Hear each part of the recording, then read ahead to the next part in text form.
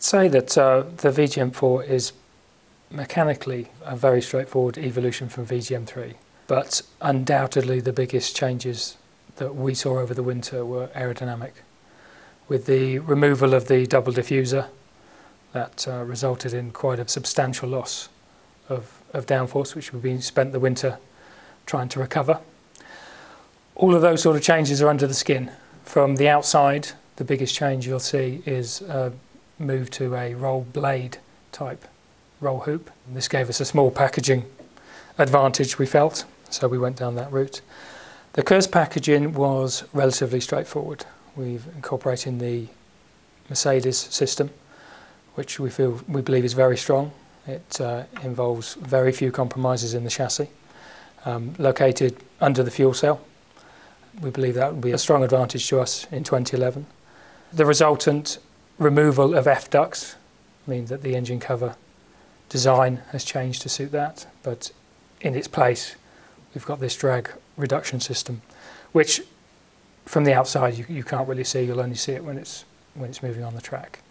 So those are the main changes. Mechanically, like I said, underneath, it is an evolution. We've taken what we learnt last year, tried to move it up another step, and integrated that into VJM04. So nothing radical yet. We recognise obviously a big change with the, the Pirelli tyres coming in in 2011. With that in mind, we've brought in some expertise and knowledge to help us understand the Pirelli tyres.